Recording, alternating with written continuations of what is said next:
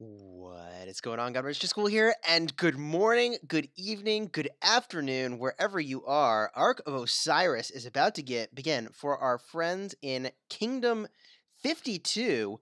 We were invited to join the Bob family, that's Band of Brothers, uh, and we're about to start watching their Ark of Osiris, which begins in 30 seconds bunch of folks popping into the chat. Welcome, Connor, Andrew, Neil, Biz. What is going on? I'm pretty pumped about today's Ark of Osiris, and I'll be honest, I was not entirely sure I would be able to uh, be awake for this time. We happened to be up, connected with some folks, and here we are. It's stream time, it's go time. So this Ark of Osiris is about to begin, and I'm pretty pumped. God sent, what's going on? Welcome to the stream, and here we go, entering into Ark of Osiris. Now, commenting on Ark of Osiris is something I'm pretty darn comfortable doing at this point, so I'll have a lot of opportunity to answer your questions as we go. Looks like folks are starting to port in over here on the red side. And gosh, I'm pretty sure, yes, our allies, our friends and Bob are in red. Pretty pumped about that. See Sanity, welcome. Oh, you've been watching my war videos recently, have you? Yes, those have been pretty nuts. Those have been pretty nuts. Got to get my caffeine ready here. Woo. Black tea, that's the play this morning. Bada boom. All right. Rico, what's going on? Welcome to the stream. Echoes Gaming. Huh. Not to be confused with Echo Gaming. Welcome, my friend. Welcome. I know. Ah. Breathe a sigh of release.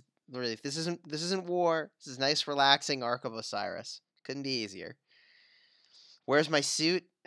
I got so many comments about wearing the suit. Everybody wants me to wear the suit. What's my next war video going to be about? I think I'm going to talk about how I gained so much power in a short period of time. I'm also going to have a bunch of other stuff going on in the background. Tony, welcome. Smoking, welcome. You were just binge watching my war videos. Thanks for that. They, I mean, like, war is, it's kind of fun. It's kind of terrifying at the same time.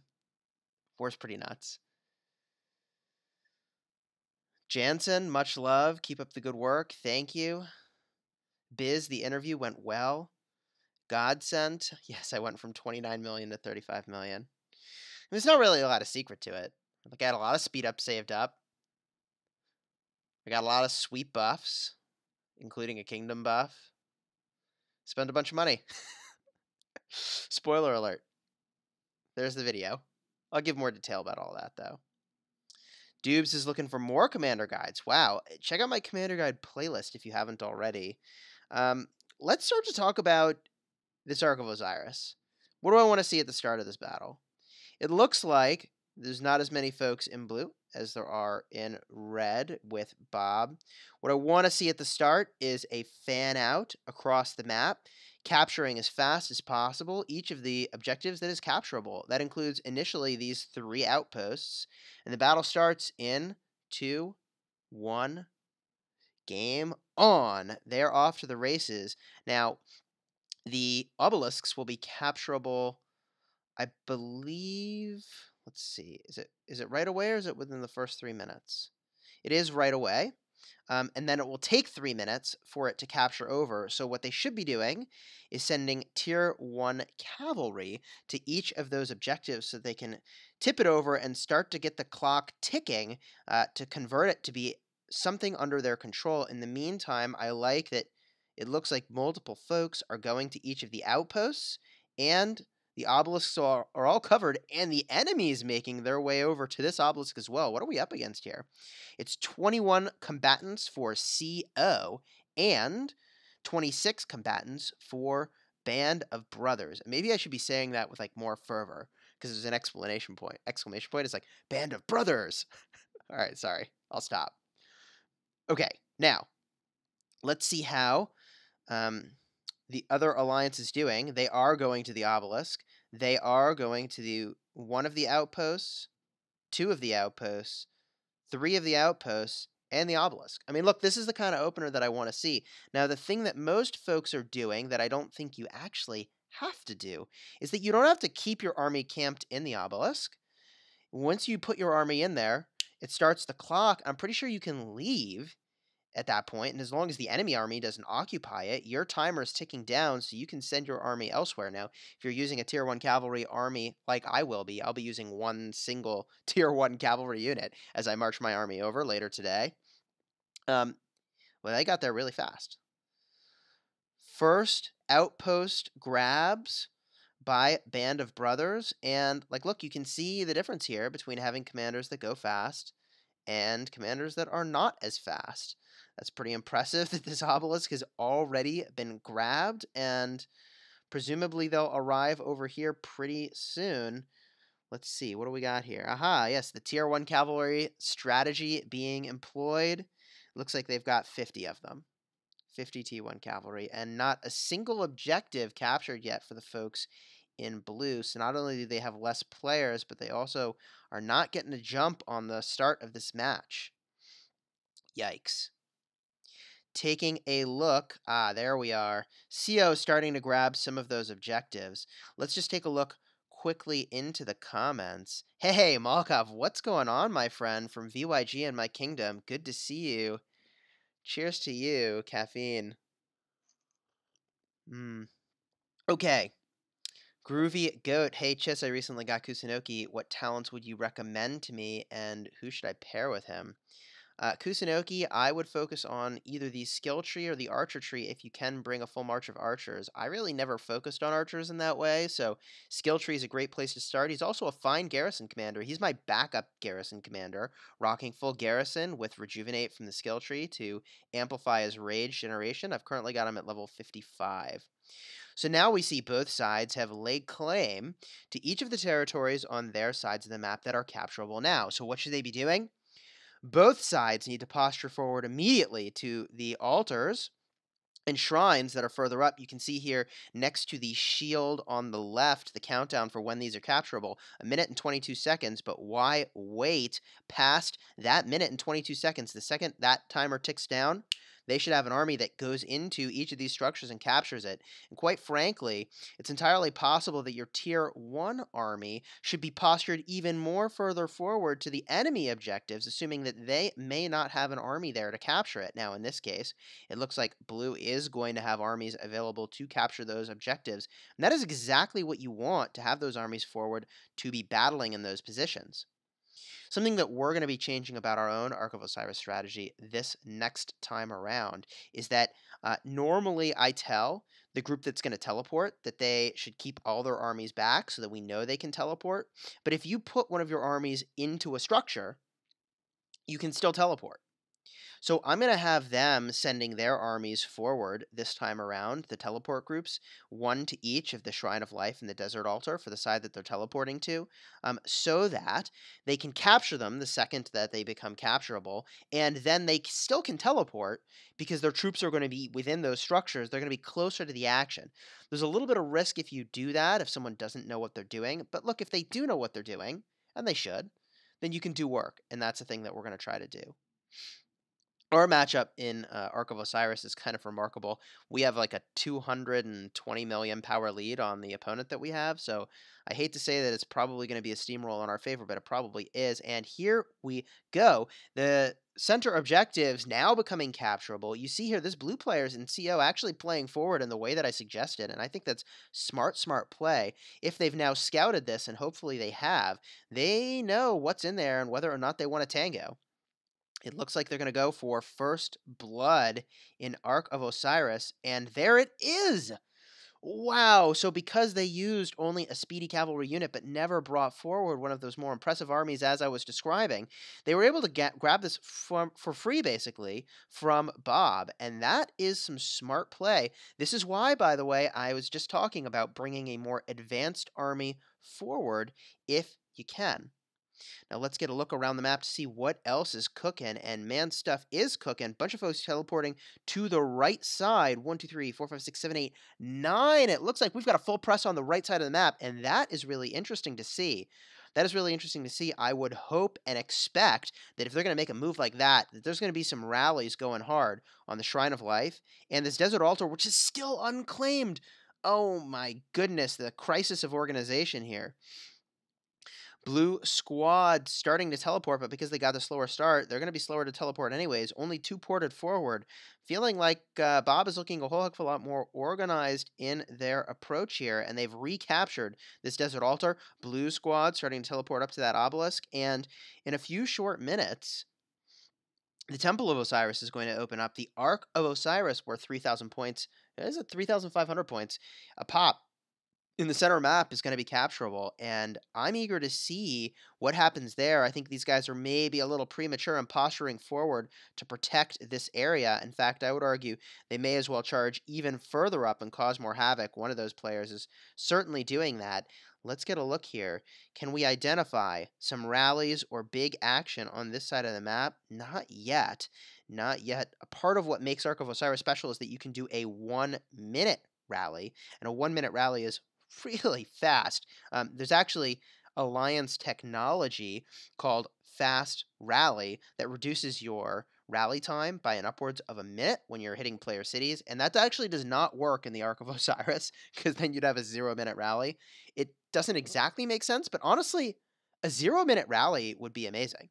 Like people can join your rally later, like as the army is already hitting. Anyways, We'll talk about rally reinforcement another time. We're going to try to find where the action is here. Soon there will be some really big skirmishes, and I'm excited for that. And look, you know, in this first part of the game, you should have several armies, assuming you're not one of the folks that's going to teleport, in this area around your starting zone right? Like all through here, you should have armies that are farming the caravans because they're these are safe caravans. It's unlikely the enemy is going to come to those. Now let's go to where I think there might be some action. Band of Brothers occupying the Sky Altar. That's the thing we knew. You know, there it is. That's what I wanted to see, that one minute rally. That one minute rally firing off, making their way over, and we're going to watch the combat over by this Shrine of Life. It is going to get real hot, real fast, and it looks like who's leading this rally? Where did you go, rally? That's right, I saw a Barca. I saw a Barca in this rally, and that is pretty exciting to see. We're working on Barca ourselves. Ali asking if the war in Kingdom 51 has ended. Hashtag spoiler alert. I can't spoil it. I can't spoil it, but if you want to see, head over to our kingdom, check out the power of my alliance, check out the power of Marvel, and that will tell enough of the story Insanity saying there was war in Kingdom 1138. Man, let me tell you, war is fun, but a whole bunch of people quit, which is not fun. So I don't know what what to do about that. Um, it's tough being beaten in war because you lose a lot of troops and you lose a lot of resources, and it feels pretty rough. Skylar saying caravans really help that much. Yes, indeed, they do, my friend. They do. A part of the reason I love watching these is that we're going to keep a very close eye on the scoreboard. At the end, especially, it gives a breakdown of where all the points came from. And you'll be shocked to see that upwards of 20% of an alliance's points could easily come from farming those caravans. Caravans are a sweet, sweet play, and honestly, um, very crucial.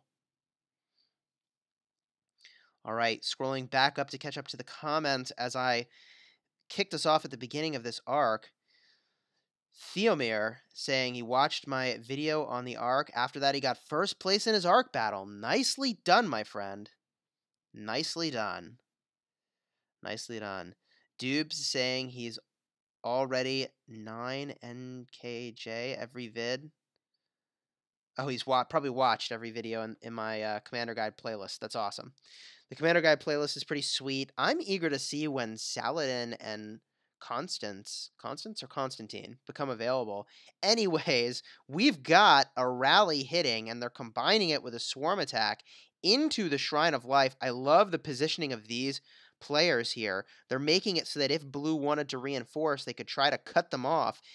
Oh, but blue comes from the other direction, direction I certainly didn't expect, farming the caravan. Smart little maneuver there. Too little too late, though. I think this Shrine of Life is going to convert pretty handily over to Bob, and we're going to have to look around the field to find some more combat. Where else is the action in this battle? Bada boom, sending those players home with haste and some open field action here.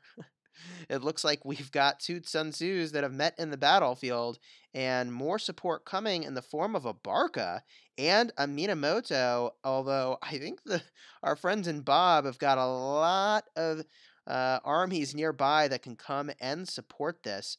There it is. Now, if you wanted to hit this army right here, the thing you should do is use free movement to go behind this army because it does area of effect damage, then turn around and start hitting it. That way, you're not getting basically hit for no cost to them for free. So we see now these these player in red who was in the initial skirmish is retreating and this whole mess is making its way toward the Shrine of Life. This might be a alpha player here because they're using a Barca. Hard to say. You really only have to be VIP 10 to have picked up Barca at all, so it may or may not actually be a powered player. Hard to say. Those don't look to me like T5. So I'm going to guess that it is not a super high powered player, and they are on their way out. That combat is just about over. A dozen of the armies in red to the two in blue. The we have action, however, over here at the desert altar. Let's check that out. Swarm attack going in with Lohar leading, which is let me tell you guys, I love rage tanking, but this is not a thing you should try to use uh, for Ark of Osiris or PvP unless you really do not have any other commander that you can be using. Yikes. We've got a question here. When will Saladin come? You know, I don't know. What I do know is the devs have revealed that it will likely be a Mighty Governor event that he comes from. So I'm already starting to save up my training speed ups for whenever that might happen. We've got our friends in Bob going to reinforce this altar, and it looks like it's already very well reinforced. Um, however, Blue Squad smartly playing out behind the altar to try to prevent folks from getting into it for free. The reason that you want to get into the altar to defend it rather than fight in the open field is that, look, like if you've got a million troops and your enemy has an, a march of 200,000, that march of 200,000 is going to get wrecked, even if they've got better commanders. There's just overwhelming numbers do serious work. And it's possible this player is running the other way now because they already have an army in the structure. You can only have one army in each of these structures. So, um, often I've sort of commented, like, why is this person in the open field when they should get in the structure? Sometimes that is because they've already got an army in the structure. wow. And in this case, We've got a rally coming in on the desert altar. This army now finally making it in to reinforce potentially? Or are they going to attack the rally? A suicide mission for sure, but sometimes you do whatever little bit you can. However, this altar is taken it has been overrun. I kind of question why some of those players were doing individual hits when they knew they had that rally coming in. They're just sort of accumulating a lot of severely injured units, and that comes at a big, big cost because, look, in many ways, this is a battle of attrition. Now, we've got an arc carrier here, and you know my feelings about carrying the arc. Well, it looks like it's been dropped. Those are, I believe, tier 5. We might have a tier 5 player here in Don't Hide Ovo. Is that, am I seeing that correctly? Or maybe that's just a special unit. I'm not exactly sure. I'll say this. You can see here that when you carry the arc, it reduces your march speed by 50% and increases the damage you take by 200%, which is particularly savage. Um, you should really only be carrying the Ark of Osiris if and only if you are 100% safe to bring it where you are going. That said, Red actually is now in that position uh, where they could bring it pretty safely, and they've got a carrier going to pick it up. That said, oh, I don't know about that. Blue is going to have words. CO is going to have words. They're going to send a bunch of armies. In the meantime, also, Bob has got some open field combat going on by the enemy's desert altar. This is kind of a dangerous place to be engaging in an open field combat because you don't really know how many armies are sitting in this desert altar. They can pop out, they can wreck you before you have a chance to get away. And, you know, my feelings on non cavalry armies is that they're very risky to bring out on the battlefield. Now, why is that? Um, non cavalry armies simply don't have the mobility, and they don't have the talents that offer the mobility when they get weak. The talent that I'm referring to for cavalry in the cavalry tree is charge, gives you a 30% march speed boost when you're below 50%, and that will let you get out of most bad situations. But this army here from Bob is completely surrounded with nowhere to run, and look, running is a terrible option here because they, they can't outrun this enemy. Now we've got the arc moving, the enemy making their way toward it, and this arc is far from secure. Far from secure. You need to take the arc to one of the structures that you own. I would be headed toward the Shrine of War, which is in the direct opposite direction of the folks in blue. It looks like they are instead making their way over to their city or perhaps this outpost. Um, I don't know that going to your city will actually capture it, and this guy's going to get gunned down handily handily. It looks like they're going to try to help, but like, look, there's nothing that this Boudica army can do to slow down adequately uh, a proper Minamoto army. And this looks like a T5 army with Minamoto making its way over. Ooh boy. This uh, guy here is not going to stand much of a chance, and you can see they sort of figure out that they're not able to do much work here. They're on their way out. So this army is going to get run down in a heartbeat, and you can see that 200% damage plus T5s doing damage to siege units, doing serious work here. And now the question is, are they going to pick it up? And I think they are, and that's a huge mistake. Well, it would be a huge mistake, but nobody in red is contesting.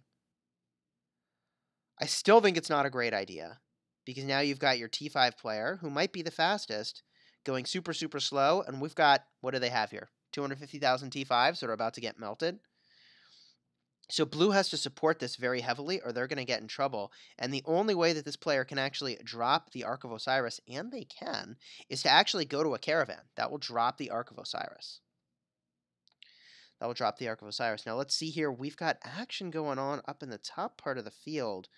What kind of action is it? Uh, just an individual army attacking the structure. Okay. The way that I know that there's action, by the way, is that in the mini map you'll see flashing of the objective where there is currently combat. Now, Dubes is pointing out smartly that scouts are great for Ark of Osiris, and they are. Scouts are essential. I'll say I really got myself into a spot of trouble because I was scouting a whole heck of a lot at the start of the arc, but then couldn't figure out why I couldn't teleport, and I realized, like, oh yeah, you gotta have all your scouts back too. Noob mistake. It's fine. We learned. But now, tunnel vision for the player carrying the arc, and that's the way to do it. They are just super vulnerable. It doesn't matter they've got T5. Doesn't matter that they've got T5. They're going to get melted here in a moment. And I, will admit they're doing better than I thought they would. Uh, once these armies focus in on it, they're going to be in serious trouble. More T5 coming to support it. It's not going to matter, though. This T5 melting relative to how fast they normally might take damage. Impressive, though, how well the T5s are holding up. But they will fall. There it is. This army is running away, and they should. There's more T5 beating on them. Um, just because they took down this army doesn't mean that they're out of the woods. In fact, they're going to have to send a bunch of armies to try to capture this arc. And why does this arc matter? My friends, this is anyone's game. This is still anyone's game, and 3,500 points either secures red as a dominant player in this match or puts blue as the leader. So we are far from over here. In fact, I love how even this matchup is. Christian asking if I want to stream their arc at uh, 20 UTC today. Uh, unfortunately, that's the same time as when my arc will be. I might be streaming mine. I might be uh, recording it for later to be determined, but I certainly will have my hands full. Augustin saying, Chisgule, I'm kind of tilted. We're outmatched. They're fighting 341 million to 571 million. Ouch, my friend. That's really tough. What I'll say is that you should show up in force, bring every single player 30 out of 30, fight hard. There's a chance they don't show up. There's a chance their power players don't show up. I know one alliance in my kingdom could only find 20 people that could confirm the time. And they asked me, should I register with 30 people or should I just register the 20 that I know can be there? And I said, look, just register the 20 that you know will be there so that hopefully you get an easier matchup. But they may have registered a bunch of people that can't make it. So I would show up in full force and be ready to fight. In the meantime, we've got a rally coming in hot to the Desert Altar, which is where we know there's some T5s, including this T5 carrier who is about to get melted. He is unguarded, or at least his guards are too far away. Oh man. This is getting spicy. This is getting spicy, and we've got a fair fight here. We've got an even scoreboard as these two alliances, CO and Bob, duke it out. Thanks again to Bob for inviting us to spectate. This is a sweet matchup. Theomir asking the best hero combination for a free to play player, and there's not yet a legendary hero, hero that they can work on. Um, you know, look, free to play player, I really like the combination of CPO and Joan of Arc for the open field. It allows you to support your allies, it also makes you pretty tanky. The problem, however, is that you have to position yourself well, and you know, unless you're pretty serious about the game, unless you've got a lot of practice, you may not know how to position your army. So that said, I think cavalry may be one of the very best options for free-to-play players. I'd work on probably uh, Belisarius and Baibars, make them speedy, so that you can get away from combat that's not going favorably and you can pick off armies that are favorable for you to hit. That said, the arc has collapsed. That T5 player, I mean, look, T5 is cool, but those troops get melted. Meanwhile, this altar getting super reinforced, and they are melting the rally. Impressive work from CO. This rally is going to have to get reinforced by the our friends in Bob, or it is in trouble. It looks like instead they're trying to protect their carrier, and I will say, if this rally simply distracts them from hunting down this carrier, then the rally has done its job. But I don't think that's going to be a thing that will be successful. And I think we've got, yes, indeed, T5 taking down this carrier. And they can take down carriers all day, every day. In the meantime, we've got Barca smashing Minamoto in a rally. And it's unclear to me who's going to win in this combat, which is looking really sweet. I'm going to zoom out so we can see all of it at the same time. Heck of a fight going on here. Heck of a fight. Zehez is saying a 70 million power guy. Oh, it could be that this player Ovo that we've been watching is a 70 million power player, which is a pretty pretty impressive level of power. They are making their way over to the desert altar, which is looking like it is going to fall in favor of our friends in Bob. This is pretty close. And, you know, I will say, oh, it looks like the captain of the defense has changed, and there you have it. Rally successful. They capture that, and they're moving the arc into position. Love the ambush tactics going on here, cutting off this player who's going to try to take out the carrier. Smart play, altar captured, and huge momentum in favor of our friends from Bob. Very, very impressive. Teleport coming in, saw that out of the corner of my eye. Looks like red is now supporting the left side as well as the right side. This army is not going to make it to the carrier, and honestly, I almost feel like the carrier perhaps should have been aggressive and gone forward here. That's probably too aggressive. Um, they're choosing to walk the longer distance. I kind of wonder if they could have scored at the obelisk, though and why they didn't go to the obelisk. That said, if they go to this outpost, that's a pretty safe place to be running to. Um, easy points at this point, although I wonder what army is sitting in this caravan. Part of the advantage of sitting in caravans is that people don't know like what kind of army you're bringing. They can't see that main commander that you're using. So I think that's generally a pretty smart strategy we've got here two infantry armies in the open field and you know you know my feelings about infantry armies in the open field very dangerous proposition you can very easily get outnumbered outgunned and you've got nowhere to run We've got some combat outside of this desert altar, which is kind of exciting to watch. What do we got here? Hermann and Cao into a Sun Tzu. Oh, one army, additional army showing up. Boudica. Now there's a Minamoto. So we've got some open field battling, and that's pretty fun to watch. Let's take this moment to catch up on the comments. Let's take a moment to catch up on the comments here. Gridlock saying that doesn't matter. My alliance went with someone with 10 million power difference, and we still won because we played the objective instead of the kills. Oh, 100 million power difference. That makes more sense. Yeah, I mean, look, like they can always not show up, and you just win because they don't show up. Ah, Costa saying CO is your team. Good luck to you, my friend. Good luck to your allies. Plus is saying, what do we do against a pay to win player who has T4 after only two weeks in? I mean, join them?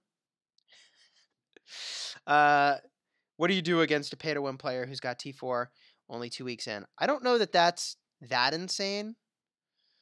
The question is really if they will continue to their way to T5. Uh, and the way you battle a player like that is that you've got to beat them when you have superior odds on defense and when the kills work in your favor on defense. When you defend a flag, for instance, you're going to have 50% of your severely injured units die. They're going to have 100% of their severely injured units die. Um, the other thing that's really important, and this is relevant for Ark of Osiris, is you got to have the right captain defending that structure. You got to have the right captain defending the structure. Um, Who's the right captain? I mean, it really kind of depends, but generally it's the player with the very best research and the best commanders. The thing that I'll say that I always underestimated is the extent to which the research outweighs the commanders, which, like, it really does profoundly. Research is way, way, way more critical than commanders. Not even close. All right, more comments rolling in like crazy. Uh, Grindello asking, Have I seen the war in Kingdom 77? I haven't. Ran asking what T5 is. T5 stands for Tier 5 troops, the highest tier of troops available to research in the game, and one of the very last things you can research after you've maxed everything else out. Justin saying, Keep up the great work. Thank you, my friend. I do appreciate all of the positive encouragement. Now let's get a look at this. What is happening over here? This is a little funky. It looks like this flag is going back to a city. Now, Here's what I'll say is smart. If what this player is doing is trying to stall, trying to stall the fight because they're ahead and they think they'll stay ahead and they're not sure they can capture the ark again, then I think that's pretty smart. If you actually can capture the ark at a city, that'll be news to me. Maybe it's capturable at a city as long as your city is like teleported out of the starting area. I don't know. Let's find out what happens here. Oh, okay, I captured a city. Well, I'm a noob. Today we learned something, and this is why we watch Ark of Osiris and Other Kingdoms. Cheers, Smithy, for teaching me how to play. Okay. Where's the action? I see nothing flashing. I see nothing flashing. We got a little spice here. Looks like Frederick and one other army. And, and you know, I'm going to keep saying this because it's important. Infantry get caught out. They get caught out hard, and your whole army gets melted, and it's a real bummer. Um, it's part of the reason why I'm working on Martel right now, is that his expertise skill gives 20% movement speed, which I think is super excellent. That is like the difference between I can use infantry everywhere I want, and my infantry might get caught out and get completely wrecked. Big, big deal. Logan asking the right question as a rally coming in to this desert altar. Ooh, boy. How well defended will this be? It looks like we've got Ulji Mundok in the garrison. And I will say this these structures do not count as garrisons, to my understanding, for like city defense talents. So I think the garrison tree is not the right tree to be using for your talents. And man, is this Ulji getting melted. Ooh, boy doing work here with Minamoto into the Desert Altar, reinforcements hopefully coming to support this structure. They need it right now, or this thing is going to fall. This thing is going to fall. To answer Logan's question, is it important to choose a starter civilization with a good commander? I would argue yes, that is the important thing to do.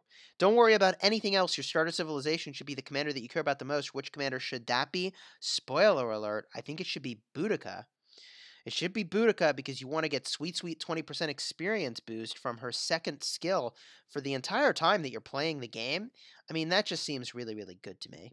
From there, you swap to a civilization that you want to be using, and Bob is given a speedy trip back to town out of the Sky Altar. They've been evicted. This is still anybody's game, although I'll, po- I'll point out that, like, look, this is a re- reclamation, reclaiming the Desert Altar uh, back from Bob, so they're still just regaining ground they should have owned in the first place.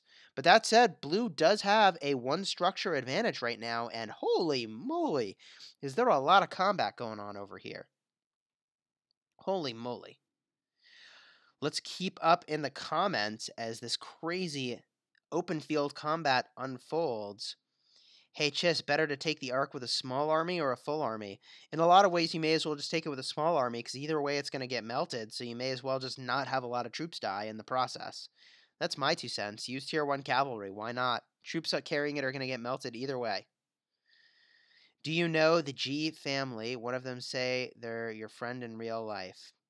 Um, could be. Could be. I have crashed. Uh, I've got a bunch of real life friends playing this game, including some family members. Um, Okay, let's see if we can get this pulled back up. Ark of Osiris in battle in progress. Let's watch. There's there's the arc. Let's actually what's the spawn time? Another five minutes before that shows up. Pardon me. Where was the action? Right over here. Whew. Okay. Hey Chisgule, what epic commander fits best as the secondary with Charles Martel? Hmm. You really want to reduce the damage taken because it amplifies the effectiveness of his shield. So in that regard, I, pardon me, just getting over a cold here. In that regard, Sun Tzu is really good. On the flip side, Sun Tzu's an AoE commander. Martel is not. I also really like Ulji Mundok as a pairing with Martel. I also really like Ulji Mundok, especially if you're bringing a full infantry march. And on the topic of full infantry marches, this guy's caught out. At this point, he should just turn around and fight because he's not getting away and he's not getting skill attacks. And he's an AoE commander. He could have been getting skill attacks this entire time. All right, melted. They are heading back to one of their cities. What I want to find is where. There it is. Some action is in the open field. AoE, you may be seeing here, is incredibly powerful in the Ark of Osiris. And look, you really don't want to be targeting a tier 5 player because you're going to melt. Um, but what you can do is you can use AoE and get incremental damage on them while you hit a T4 player, and that's a pretty decent strategy. That is a pretty decent strategy. Okay, I don't know how to pronounce your name, so I'll call you Joe. Oh, maybe I got it. Jogen. Jogen. We'll go with Jogen. I've got a mixed. I've got a maxed Minamoto. Suggestions for full cavalry pairing for arc for snipe, sniping armies in war. Um, Pelagius, very strong. I like also Cao Cao. Um, optimally at the legendary tier. Why am I recommending Pelagius instead of a more mobile commander? By the way, we've got a sweet rally going on over here. Um, is that if you're sniping, what we're referring to is my most recent video uh, where essentially you stay in your city and there's armies near you and you pop out, hit them, and when you get targeted, zip back to your city, pop out, hit somebody else, go back to your city. You can never get focused down, so you don't really need movement speed. What you need is just heavy, heavy hitting. And, um, you know, it's possible some other legendary might be a good choice, but uh, if you're rocking full cavalry, I think Pelagius is the play. Pelagius is less mobile and does more damage. That's the, that's how you do it. Okay. Mr. Chu saying two weeks to tier four. Lol, I have players in my kingdom 10 million power in one day. Free to play players should choose their alliances carefully if you want to go far. Yeah, it's true. It's true. A strong strategy is simply to ally with those very, very powerful players, and they can be a lot of fun to play with. Uh, you know, the oh boy, here's some open field combat. Although there's T5 holding it down over here, I will say, you know, in my kingdom, I've really enjoyed playing with pay to win and B. Two heavy, heavy spenders. I've enjoyed playing or talking with Bujan, who is um, on the opposing side of all of the fights that we've been on. Super chill dude, tier five player. Um, I, hope at some point he'll join with my alliance. I think that'd be swell to be on the same side, quite frankly. Anyways, um, what do we got going on here? Where's the arc? Spawning in 40 seconds. We're going to keep our eye on this air. Oh, no, we're not. There's action over here. Swarm attacks into this desert altar. Very interesting. I would expect that Bob is a rally that's going to hit here soon. And you can see they're very smartly positioning themselves between the structure and where all of the support for blue is going to come from. Very, very smart. And I love that they're pushing them out. I think that they should be doing that. They should be forcing blue to retreat because you can see they're skittish. They're skittish right now. And you should take advantage of that fully until your rally hits. And I hope they've got a rally coming in. I hope they've got a rally coming in real fast. I would make it a one minute rally. Ooh, the Ark of Osiris has appeared. Excellent. For a second, I thought it said the Ark of Osiris has disappeared, and I was like, excuse me? It has what? Okay. More questions rolling in. Is Pelagius and Cao a good combination in the open field? Yeah, sure. I would say it's a mix of smash and mobility, and I think that's a fine combination. Logan asking, Chisgule, is it more important to choose to start a civilization with a good commander? Oh, yes, we talked about this. Boudica. Go with Boudica. Um, let's see here. Catching up to the comments. Hey, Chisgule, would Sun Tzu be a great secondary commander with Richard? Sure, I think they're fine. Both of them do AoE. Generates a lot of rage. Uh, Sun Tzu does. It also stacks that damage reduction and a 10% damage reduction from Sun Tzu combined with the damage reduction from uh, Richard the First. The only thing that's anti-synergy is that I don't think that the 20% damage boost to the primary skill from Sun Tzu has any effect on Richard First's heal. Hey, and there's the rally that I thought would be a swell idea. There it is. Excellent execution on the part of Bob, placing their armies to scare away uh, the our friends in CO, um, and now the rally has free reign to do work here. There's just one problem. I'm pretty sure they're rallying a T5 player, and this rally might need some serious reinforcement really, really fast, and all the armies that can reinforce it are too far away. Oh my goodness. Well, this got interesting. Hashtag coffee hops. Pardon me. This rally is not going particularly well for our friends in red, but reinforcements to the rally can change that in a heartbeat. Whoo! We've got a Barca, and who else in this defense? Who else is in this defense? I see elephants, and I can't figure out who the secondary is. It looks like we've got perhaps Mina Tsao in the rally, and the rally getting reinforced. That's the way to do it. Ah, it looks like the. Hmm. No, I thought it, it I thought it might have been Belisarius supporting the rally or supporting uh the altar, but I'm not sure that's the case. The thing we'd be looking for is arrows. Oh, there they are. There they are. We did identify it. It is Belisarius. That's interesting. Barca and Belisarius, an unlikely pairing as far as I'm concerned, but sure, why not? Um, Barca cares about a mixed army, and Belisarius cares really only about cavalry. Um, but he does aid ending of fights and gives you a burst of movement speed when that happens, and so maybe that's what they're hunting for. Belisarius also does massive damage to armies that have been weakened, and like, look, if you're a T5 player, then yeah, you're going to weaken armies, and then you're going to get extra damage boost, and that seems pretty strong. So a pairing I probably wouldn't have been looking at first blush, but it works, and the structure is captured, but blue might have the ability to take this altar This open field combat is crucial. Blue will have a chance to get back in the game if they're able to capture this altar, and they are going to get shut out of it pretty darn quickly. That door closing. If red can capture this altar, this is a very important objective to capture at this moment in time. Let's scroll up in the comments and make sure that we catch up with, with these. Dubes is saying my alliance won their first arc event. The enemy tried the tactic of keeping hold of the flag from start to finish. Almost paid off as well. It's a smart tactic. It is a smart tactic if you don't think you can control the flag area to just not capture it and hold it off in somewhere that the enemy can't get to. Scuttlers is saying, Does the gathering speed matter when gathering from caravans? I think it does. I don't know why it wouldn't. The real Loco. Which second commander should I use for Minamoto? Cao Cao in a perfect world, otherwise, any cavalry commander of your choice. Uh, you could also use a generic commander like Boudica.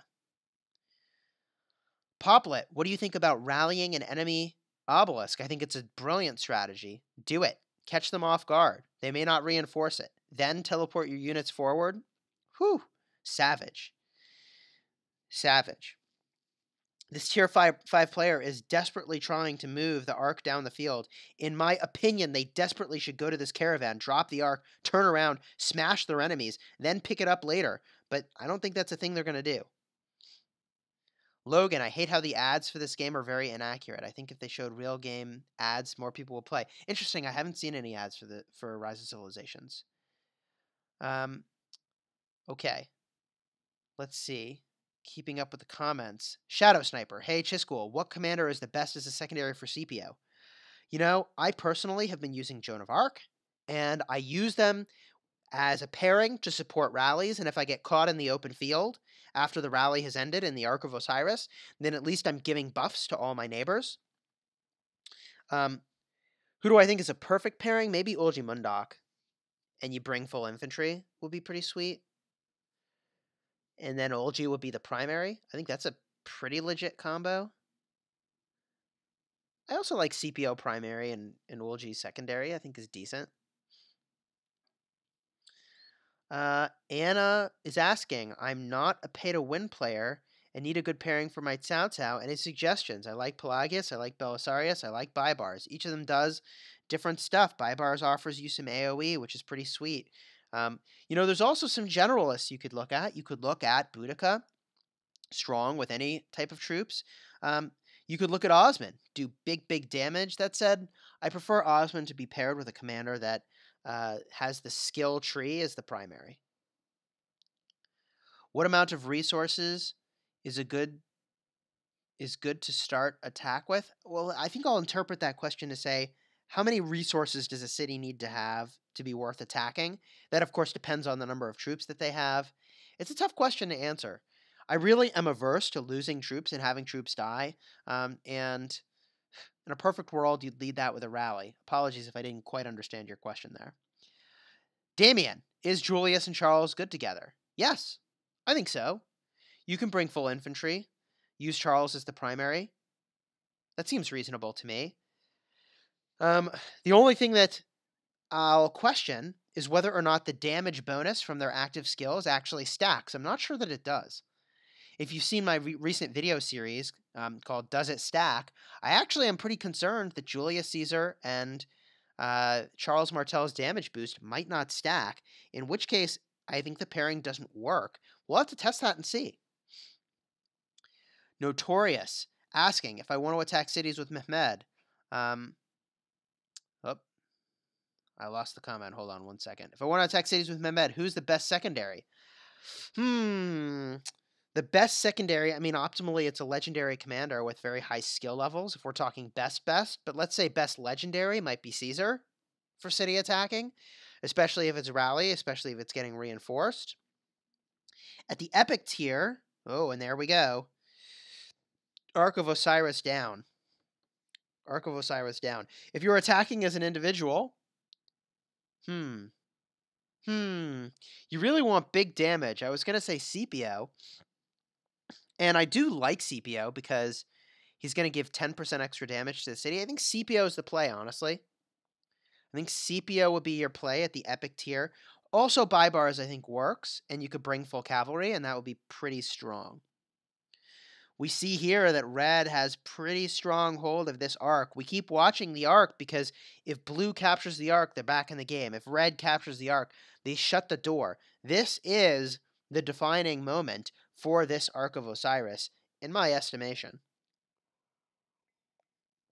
And by the way, this is a T5 player here. What I think this T5 player needs to do is not pick up the arc. They need to just wreck these guys uh, as much as they can, leveraging the fact that they've got T5 and they don't. I mean, they might have T5, but I don't see it here.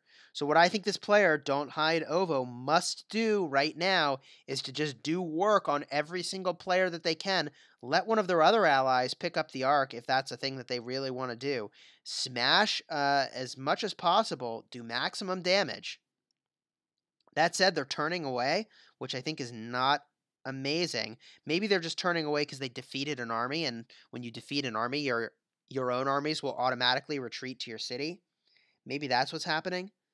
But I think they should turn and fight, and I put I'd put my money on the T5 player with two marches. Especially because more reinforcements are coming from blue, and you know, this this match is not over. This match is far from over. The Portuguese dude saying, Hey, Chisgule just started playing the game. Congratulations, dude. You're in for a heck of a ride uh, and plan on being a heavy spender. Oh, okay. What civilization do I recommend? You know, depends. You're going to get a couple Civ swap tokens. Um,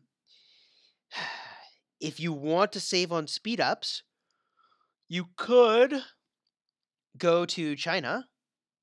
If you're going to, eh, depending on what tier of spender you are, if you're a big, big, big spender, by the way, I'm suggesting China for the 5% building speed. Uh, you could also go to Korea for the 3% research speed. That's where the big, big, big spenders go. But when I when I say big, we're talking multiple thousands of dollars.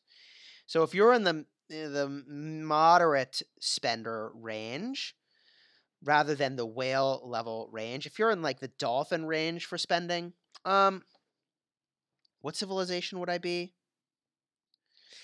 I mean, if you're farming resources like crazy, like I did. Um, I think Japan is really great. Otherwise, I also really like if you're going to play a lot and farm a lot of experience. I also really like Spain, which is also something I'd recommend free to play. Um, but like that 10% experience boost is pretty legit. We've got this open field combat still lasting. Red has picked up the uh, altar, and that's Smithy, who is, I believe, the alliance leader. The only challenge here is that they're going to get melted pretty darn quickly by uh, those T5s. And, you know, I'm telling you, this is still anybody's fight. This is still anybody's fight. And with T5 in play, it's hard to say which way this is going to go, although clearly, clearly it is already in the favor of our friends in Band of Brothers. Justin saying, I chose Hermann as my starting commander. Can I use him for PvP and with who? Yes, Hermann is great. Hermann is excellent. Uh, use any other. Hmm. Who should you use? I was going to say any other archer commander, but what other epic archer commanders do we have? Kusunoki would be a fine pairing. Kusunoki would be a fine pairing. Who else would be good with Hermann? I like Boudica a lot with Hermann. I like Boudica because she restores rage, and so that pairing I think is actually quite strong. You could also use Joan of Arc. I think that's reasonable. This battle looks pretty tame and clearly in favor of blue. What I want to look at is what's going on at the Shrine of Life. Do we have a rally? We do! Crucial! Oh man for CO to get back in this game, they not only need to capture this darn thing, but they need to get their objectives back. And this objective is converting over as well, although a rally in on it to try to take it back, and that rally is going in the favor of CO. Ooh, this is looking spicy. And there you have it. Converted over. Whoo, never a dull moment in this relatively fair and even Ark of Osiris match, this guy getting marched back, smartly the T5 now playing escort rather than carrier. That is definitely the way that should go. We're going to keep our eye on this flag because there's a lot of armies coming in. A lot of armies coming in. So we're going to watch that. As we do, we're going to answer a bunch of questions here. Over 170 folks watching this Ark of Osiris. Great to have you all here. Thank you so much for your support. Means a whole heck of a lot to me. Uh, if you haven't already liked, subscribed, would really appreciate that. So let's get a look here at some more of these questions. Raymundo, in my last arc, the Alliance took part and we were losing by 7,000 to 21,000. And at 30 minutes back, wow, you came back to win it. Impressive. Yes, the fat lady is far from singing in this Ark of Osiris, and we've got an army trying to make their way to the carrier, but with two T5 marches playing escort, that is just going to be tough to do. C Sanity saying, Yo, Chis, what's your best advice on getting tier 4 as fast as possible? Just hit 1 million power and I'm upgrading to level 16 City Hall. Need some advice on the best way to advance to tier 4. Couple tips for you, my friend. The first is to try to take advantage of runes on the map that accelerate your building and research speed. The next is to take advantage of Alliance research that accelerates your building and research speed. Spend the resources to actually research that stuff. Also, um, I will say that you should definitely upgrade your Alliance Help Center so that you get helped the maximum number of times before you speed stuff up and use up your speed ups. Those tips will hopefully give you some value uh, as you power your way toward Tier 4 troops. In the meantime, this match is far from over, but hey, wait a minute, what's going on over here? Okay, we had a little combat at the Shrine of War. By the way, we haven't talked about it in this particular battle, but the Shrine of War does give a solid 10% of stats, 5 attack and 5 defense. Very, very solid. Meanwhile, we've got folks trying to get this carrier, but we've got critical mass on behalf of CO defending the carrier. That said, Red taking full advantage of the fact that CO is distracted, they are swarming this Desert Altar and possibly the Obelisk. They're swarming the Obelisk and they just might get it. Oh boy. Okay, sorry about that. Just getting over a cold, as I mentioned.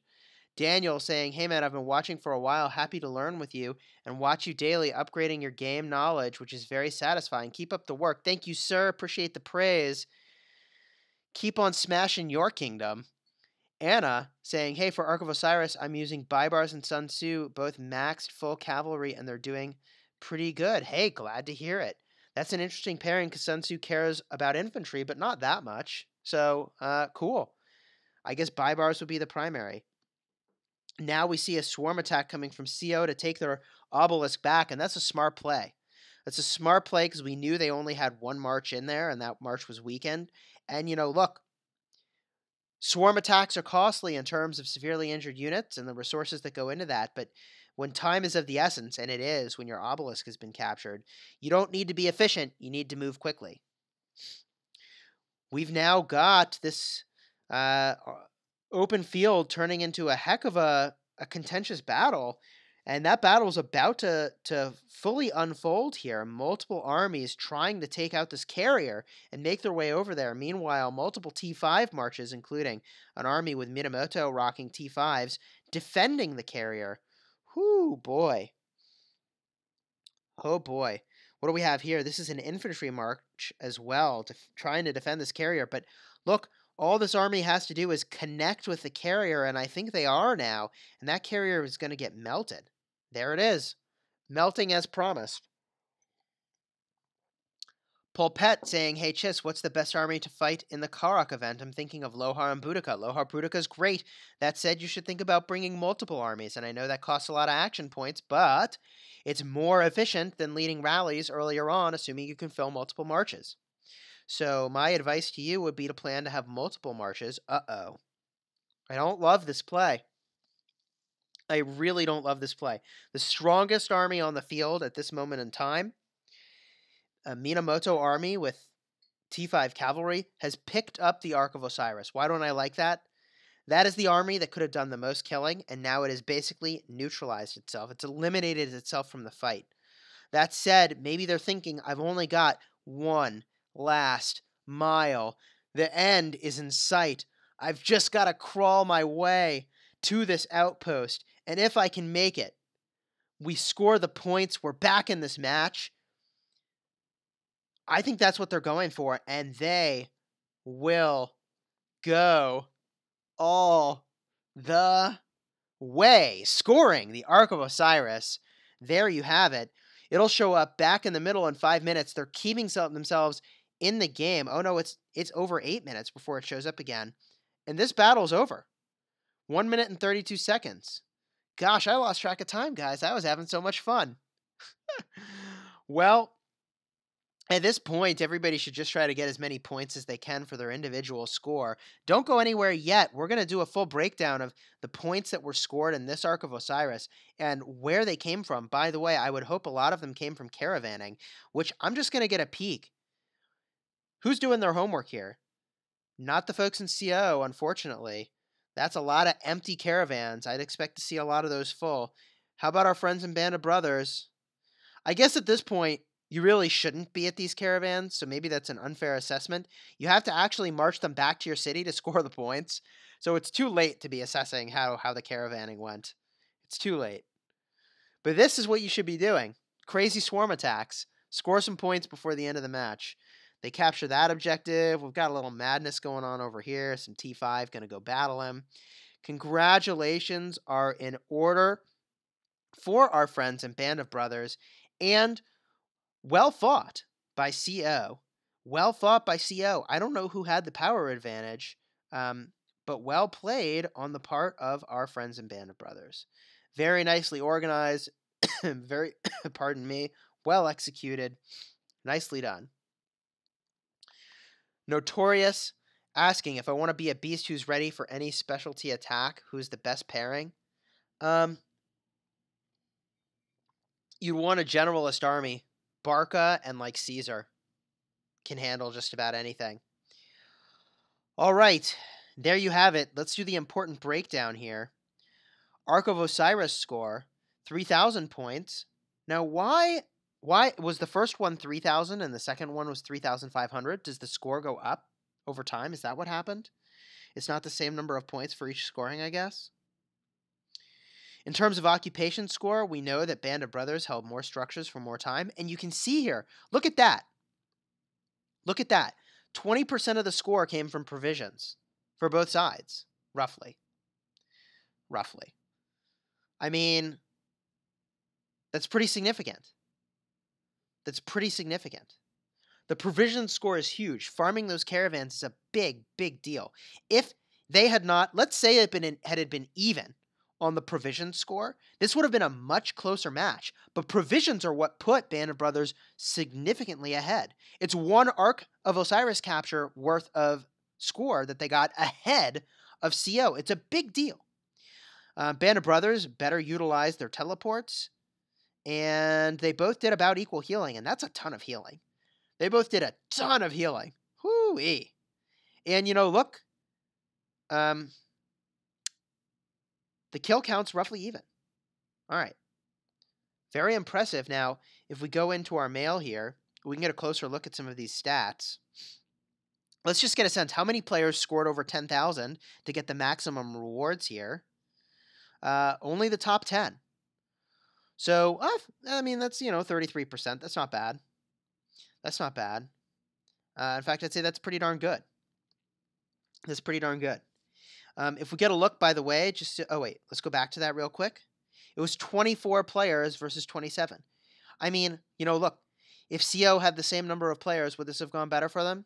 Yes. If CO had more players, would they have won this? They might have won if they had the full complement show up and Band of Brothers didn't. So, you know, organization's a big part of Ark of Osiris let me tell you. Now is the time, by the way, for any last questions that you've got before we wrap this up. I'm just going to give a quick look over here uh, to show you their alliance members and what their power levels are. There's no T5 player. Oh, maybe there is. Maybe this player's got T5. Maybe there is one T5 player in this alliance, and I don't know if they were present or not. So there you have it. Ark of Osiris, Kingdom 52, Band of Brothers, big winners. Congratulations to them. Final questions before we go. Are there limited resources in the caravans? Yes, they are limited. Is there a way to win against pay to win players? Yes. You win against play to win players by beating them in situations where you have an edge, such as a flag defense or a city defense, where you've got strong reinforcements and you've got a strong garrison commander uh, to begin with. Lone saying, Hey, I'm new to this game. I like your content. I have Minamoto and Mehmed um, the second.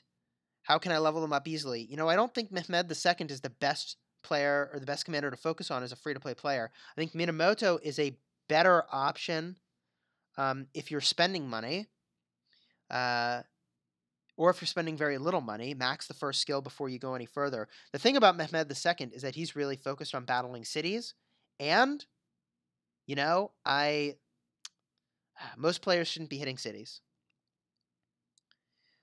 Ghost Rider saying this is DBZ82. Thanks for streaming us. You're very welcome. Question here Can you tell me a good secondary commander to pair with Minamoto, except from Cao Cao? Pelagius, Belisarius, um, or Baibars? All excellent. Ghost Rider saying that 69 million T5 on CO really made it tough. Yes, they played pretty well. Vitad saying, Hey, Ch- uh, I'm planning to build infantry troops with purple with epic commanders, thinking Sun Tzu is the main and Olgi is the secondary. What do I think? I think that's excellent. Seidel, is there similarity between Sun Tzu's expertise skill and Richard I's skill? Uh, I think what you're saying is, is there like um, synergy? And I don't know that there is. I will say that hitting more targets and generating more rage is, is honestly quite fine. I honestly think Sun Tzu and Richard is fine. It's not perfect, but totally fine. And like, look, do I think it's pretty amazing from to get generate all that rage from Sun Tzu if you're hitting many targets to basically machine gun your heals? Yes, I think that's good. I do think that's good. Poplet saying, "Hey, I hope tomorrow we win Ark of Osiris 20 verse 30 with the same power level. Wow, good luck to you. Good luck to you. The few versus the mighty." Dio saying, "Hey, I've been watching you uh, your gathering video. Very happy to see your channel grow. Would you recommend Charles, Mundok, or Sun Tzu for infantry? I mean, if you've got Charles's first skill maxed out, Charles is amazing. If you've got more than his first skill maxed out, then I think um, who would I recommend with Charles, Mundok, or Sun Tzu? I like, I think Mundok because I don't think Sun Tzu's damage boost stacks with the shield from Charles. I think Mundok is probably the play. Mundok is probably the play. Notorious saying, Hey, Chis, I've made fun of your voice before, but you're cool, bro. Keep it up. I will keep it up. Thank you. Whizzle. Uh, I've got an Ark match tomorrow, and we have twice as many people, but the same power. That'll be interesting to see how that goes. Good luck to you, my friend. That Portuguese dude saying my ceiling will be about $500 per month. That said, should I choose China or Korea? Ooh. Hmm. Hmm. Five hundred dollars a month.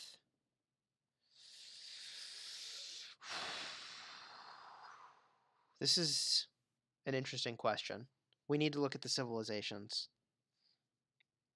If you're spending 500 bucks a month, I mean, look, I'll say generally Spain is just freaking awesome. If you're going to play seriously, you're going to battle a lot.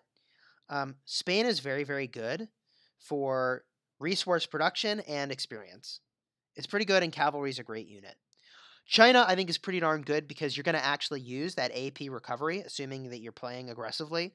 You're going to benefit from the building speed to get to City Hall 25 really, really quickly. And troop defense is a generic boost to all of your types of units. The only problem is that the special unit is an archer, and you really don't care about that. This is the same problem with Korea. This is the same problem with Korea. Oh, I misread that. $5,000 a month?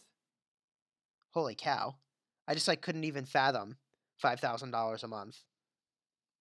Well, okay, so if you're spending $5,000 a month, you're probably powering out toward T5 insanely fast, and Korea's your play.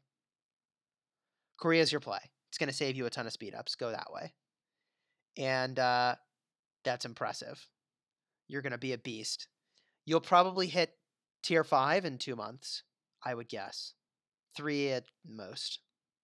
That's insane. That's insane. On that insane note, we're going to head out. We're going to head out. My friends, this has been fun. I enjoyed doing this with you. Thank you so much for your support. It means a heck of a lot to me. Like, subscribe, comment. We're going to be back for more insane Ark of Osiris action, possibly later today with our own Ark of Osiris. TBD if we're going to record it to save for later or just stream it. And until next time, my friends, you have fun smashing the kingdom.